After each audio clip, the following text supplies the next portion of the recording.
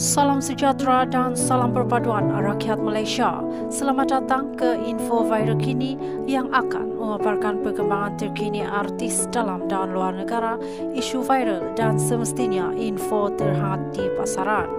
Sila tekan butang subscribe, like dan share serta aktifkan loceng notifikasi supaya anda tidak ketinggalan mengikuti berita terkini.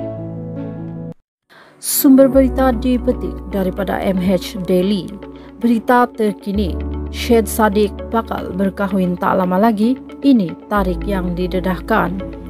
Syed Sadiq bakal berkahwin tak lama lagi. Ini tarikh yang didedahkan. Presiden Parti Perikatan Demokratik Malaysia Muda Syed Sadiq Syed Abdul Rahman bakal menamatkan zaman bujang sebelum pilihan raya umum ke-16. Naib Presiden PAS Datuk Idris Ahmad yang berkongsi mengenai perkara berkenaan memaklumkan ahli parlimen Muar itu menyatakan demikian ketika bertemunya di parlimen pada Isnin.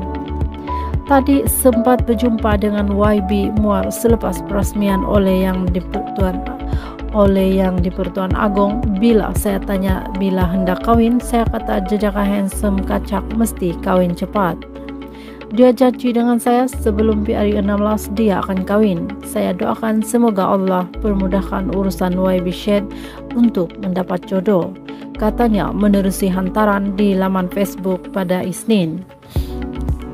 Dalam pada itu, Idris yang juga ahli Parlimen Bagan Serai turut memaklumkan bekas Menteri Belia dan Sukan itu pernah berkunjung ke pejabatnya di bangunan Parlimen ketika menjadi ahli Parlimen dari tahun 2013 hingga 2018.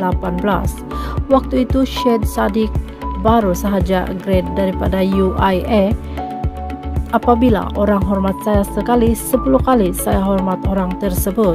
Perbezaan parti, bangsa dan agama bukan halangan untuk saya bermesra dengan sesiapa pun katanya. Turut berangkat ke istirahat berkenaan Raja Permaisuri Agung Tunku Haja Aziza Amina Maimuna Iskandaria. Sekian info hari ini. Terima kasih.